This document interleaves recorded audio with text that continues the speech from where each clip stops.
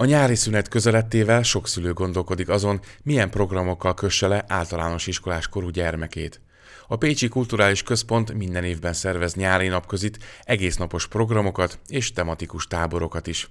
Egyik ilyen téma a vasút, mely köré két különböző egyhetes rendezvény is épül vasútmodellező tábort azt a volt Szivárvány gyerekházban tartjuk, a kisvasutas tábort pedig hát fenn a mecseken, ugye, nemrég volt egy egyeztetés ezzel kapcsolatosan, ott is várjuk a gyerekeket, jönnek, régen ugye úgy hívták, hogy úttörő vasút, vagy hát a vasutasok ilyen sapkában is kicsit, hogy is mondjam, a vasút jelképeit magukra öltve tevékenykedtek. Most is ugyanez a lehetőség megvan, és várjuk őket is oda szeretettel.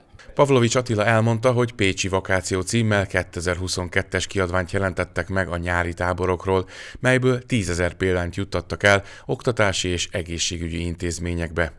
Ebben a füzetben is megtalálhatóak azok az állandó programok, melyeket a Kulturális Központ szervez. Nyár elején szoktunk csinálni egy úgynevezett családi napot, amely itt a téren szokott lenni, itt az Apácai téren, és hát oda várjuk szintén szeretettel a családokat, kisgyerekeket, nagyobb gyerekeket, szülőket, mindenkinek fogunk tudni programot biztosítani.